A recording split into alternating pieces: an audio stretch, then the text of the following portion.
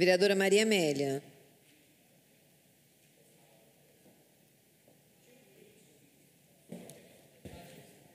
Boa tarde a todos. Quero aqui cumprimentar você que está nos assistindo nesse momento, Dario, que está aqui também nos prestigiando. E quero que coloque para mim, por favor, o tema livre, nosso primeiro slide. Hoje nós estamos na nona sessão ordinária dessa legislatura e vou apresentar para você alguns trabalhos que a gente vem realizando na cidade de Jacareí e que vem colaborando aí com os munícipes da nossa cidade. Pode colocar, por gentileza, para mim o primeiro vídeo. Olá, Jacareí. Estou aqui vindo fiscalizar a obra do Morro do Cristo, juntamente com o nosso secretário de Governo e Planejamento, Celso Florencio. E eu vou pedir ao Celso que explique para a gente o que está acontecendo aqui, qual a previsão e o benefício que nós teremos futuramente. Bom, a gente tem uma obra aqui muito importante para a nossa cidade. O Morro do Cristo é um cartão postal. A gente tem uma vista lindíssima para a nossa cidade. E aqui a gente vai ter uma praça, um parque público, um campo de rugby. A gente fez toda a recuperação ambiental do Morro do Cristo e agora a gente vai transformar isso num equipamento de lazer aberto para a comunidade. A gente espera até o final do ano estar tá entregando tanto o campo de rugby quanto a praça e o parque para toda a comunidade. Vem aqui aproveitar e ver a melhor vista de Jacareí. É isso. Conte com essa vereadora, a vereadora Maria Amélia. E Celso Florencio, e quem quiser conhecer um pouquinho mais do nosso trabalho, é só seguir a gente nas redes sociais, arroba celso.jacareí. Isso, aí vai ser construído. Obrigada, Dario. Aí vai ser construído o Morro do, o, no Morro do Cristo o campo do rugby, como o Celso bem explicou. Foram várias intervenções. Eu tenho a honra de dizer que eu estive por várias vezes dialogando com os munícipes ali da Rua Elgolande, do, do Balneário Paraíba, é, da Danúbio, onde eles passaram por muitas enchentes. E eles tinham muito medo dessa obra por conta do que ela podia causar lá embaixo, sabe, Dário? E também com relação à valeta que tem ali embaixo e que já não estava mais suportando a velocidade da água que cai. Mesmo tendo uma escada hidráulica e a valeta, isso estava causando enchente na Elgolante e também na Danúbio. Pois bem, estive lá com o Celso, fui lá, fizemos várias reuniões e o Celso, de antemão, ouviu o que um servidor há 30 anos tenta falar, Dário, que abrindo a valeta até o Paraíba, é, isso eliminaria possivelmente as enchentes ali naquele local. E eu fui insistentemente conversar com o Celso, conversar com o prefeito, levar a fala deste servidor público, que há 30 anos diz aos aos prefeitos que já passaram por essa cidade que uma das causas que uma das questões que aliviaria a enchente era a abertura. Então eu insisti eu insisti com, com o Celso, com o prefeito. Eles entraram em acordo com o proprietário ali, que não foi fácil. O proprietário que está na China, ele não está aqui no Brasil, mas tem um, um procurador aqui no Brasil. Ele imediatamente é, tem algumas dívidas com o município e ele facilitou essa abertura passando por dentro do terreno dele para chegar até o Paraíba. Então, essas últimas chuvas que tivemos, graças a Deus, nós não tivemos problema, não tivemos enchente. E é sobre isso que um vereador precisa trabalhar. É ir à rua, é falar com o munícipe, é tratar com cuidado das pessoas. E eu aqui faço essa intermediação. Então, fico muito feliz com esse vídeo que o Celso fez comigo. Em breve teremos um grande parque lá no Morro do Cristo, é, de uma gestão que se preocupa com o munícipe. E, e a obra em paralelo, essa obra vai ser feita também, já foi licitada, Dário, e vão fazer um, uma valeta de acordo ali, porque hoje ela é só uma valeta de terra, onde tem algumas questões que precisam ser definidas, mas a água já está escorrendo para o Paraíba, livrando as pessoas ali da enchente. E é para isso que eu estou aqui, é para ser a voz das pessoas aqui na cidade, recorrer ao prefeito, ao secretário, quem quer que seja, para melhorias e qualidade de vida das pessoas aqui no nosso município. É, porque eu tenho esse tempo, graças a Deus, eu vim aqui disposta a trabalhar e trabalho por você. É só indicar, é só me mostrar o caminho. Obviamente eu não tenho um radar e não sei de todos os problemas da nossa cidade, mas por onde eu ando, por onde as pessoas me pedem, eu vou e busco trazer a solução. Isso é uma solução do meu mandato, ao qual eu tenho a honra de apresentar à cidade de Jacareí. Pode colocar o próximo slide também, por favor. Próximo, acho que é o próximo vídeo. É um vídeo também falando de uma parceria que eu tive aí com o Sazak, pessoas do bem, que a gente tem a honra de trabalhar em conjunto. Pode colocar o próximo vídeo, por gentileza? Meu nome é Vantuil, eu sou um dos moradores mais velhos aqui do bairro. Seu Vantuil, o senhor gostou da Claro praça? Gostei muito da praça. Nós estava até esquecido aqui, né? É. Depois que arrumou a praça ficou bem melhor. As crianças ficam brincando aqui, melhorou muito, muito mesmo. Ah, que bom, a gente fica feliz. a gente, como diz o outro, não esperava, né? Demorou, mas chegou uma coisa boa para nós. Que bom. É. Feliz em poder fazer parte Nossa, mãe. dessa conquista e que pra gente também é muito importante saber que as pessoas estão satisfeitas. Então nós pegamos parte da nossa emenda, destinamos e aí saiu, deu esse resultado positivo aqui, onde todo mundo conseguiu ficar feliz porque sai, a eh, vem a academia livre, o parquinho, conseguimos contemplar todo mundo. Quero agradecer a Maria Amélia, tudo que ela fez por nós aqui. E daqui para frente é só melhorar. Sim. É, tá ótimo. Obrigado, Obrigado. Deus abençoe. Essa é a nossa história aqui com o Jardim Vera Lúcia. Se você gostou, compartilhe com seu amigo, mande para ele, conte e faça também o seu pedido para gente. Conte com essa vereadora, a vereadora Maria Amélia.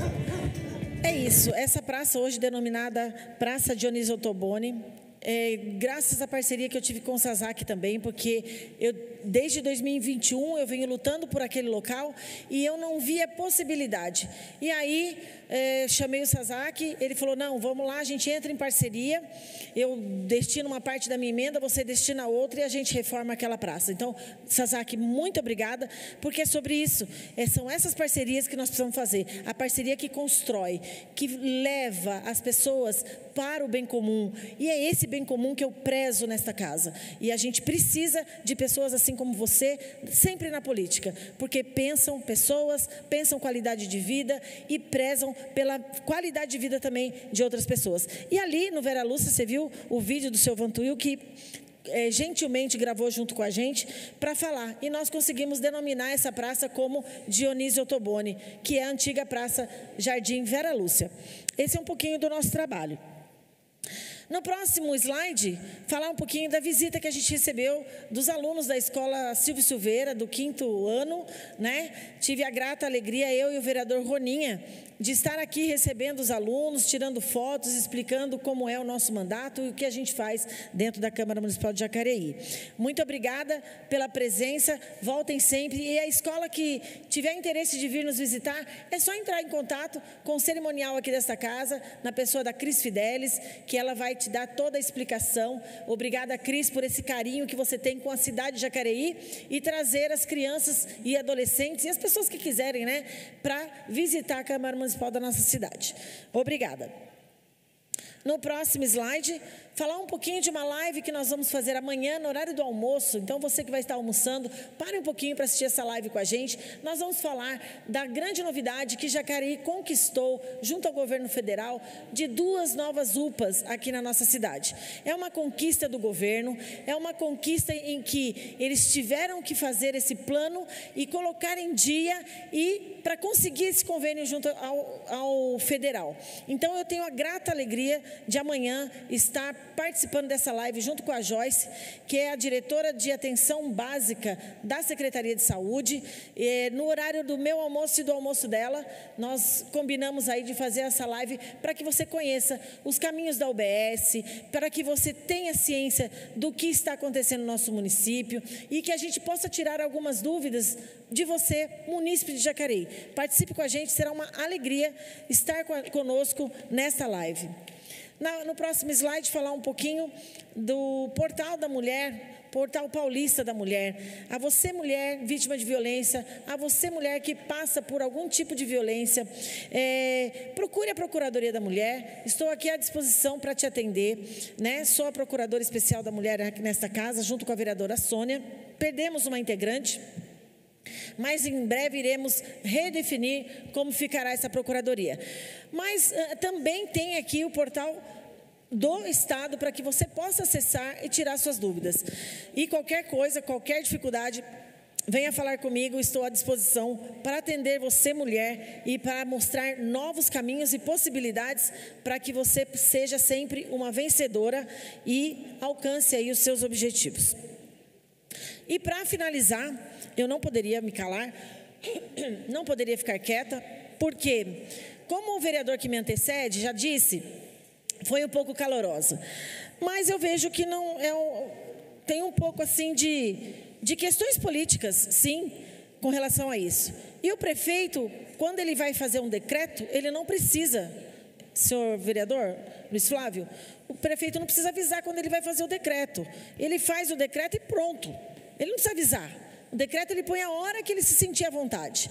E o projeto que trata sobre a intervenção, que não é sobre intervenção, ele quer garantir os financeiros do município para o decreto que ele colocou, que ele noticiou. Esse decreto é ele que põe, não somos nós. O que nós buscamos aqui é dar tranquilidade à Santa Casa de assumir o lado financeiro para que ela possa dar continuidade à Santa Casa. A Santa Casa pode dar continuidade no seu atendimento junto à Irmandade, porque a casa é da Irmandade. Como bem disse ao senhor vereador, no corredor desse, desta casa, eu disse: o senhor não gostaria que entrasse no seu escritório e tomasse posse.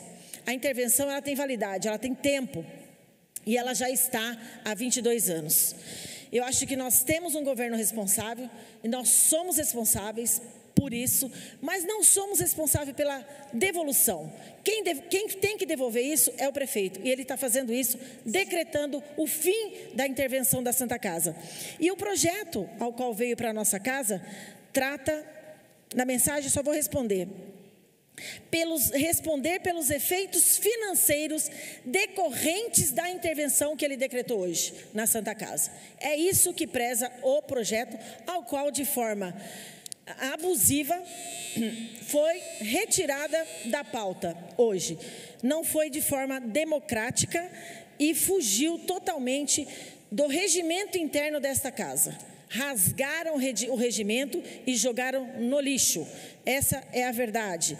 E também, de forma é, autoritária, não deu voz aos vereadores que queriam se pronunciar. Então, é, essa é a minha indignação. A gente vai passar por várias questões relacionadas a isso durante este ano, porque é um ano de eleição. Então, é um ano de muito desafio e de muito enfrentamento. Mas fique atento, fique atento Observe as redes sociais, observe todos os, os comportamentos que irão surgir dentro desta casa daqui em diante. Fiquem com Deus, tenham uma excelente semana e conte com essa vereadora, vereadora Maria Amélia. Senhor presidente, questão de ordem não é nem com relação ao que a vereadora falou, porque pelo apreço que tem por ela, vou desconsiderar as falas dela na tribuna com relação a isso, não é? Gosto muito da vereadora Maria Amélia. Mas só aqui fazer uma correção da minha própria fala na tribuna, que é uma questão de ordem.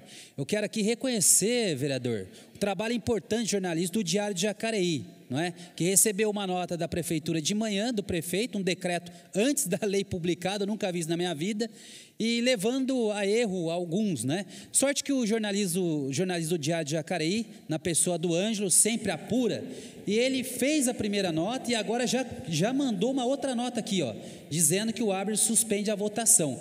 Essa é a forma de, de a gente conseguir informar melhor as pessoas, né? um jornalismo sério. Ou seja, o decreto não está em vigência, porque ele atrela a aprovação da lei aqui na Câmara. Então, o decreto do prefeito de nada vale sobre a intervenção jurídica. Né? Então, mandar um abraço para o Ângelo e reconhecer aqui o profissionalismo do Diário de Jacareí. Muito obrigado. Uma boa tarde a todos. Quero aqui cumprimentar todos que nos assistem ao vivo pela TV Câmara, os internautas, no Facebook. Agradecer mais uma vez né, por a gente estar aqui para falar em nome do povo e da população de Jacareí. Né, e a gente hoje fica um pouco meio sentido né, da sessão de Câmara ser esse tumulto que, que foi hoje. Eu acho que a gente tem que levar em conta, fazer uma política séria, uma política voltado em defesa do povo e da população da nossa cidade. Eu acho que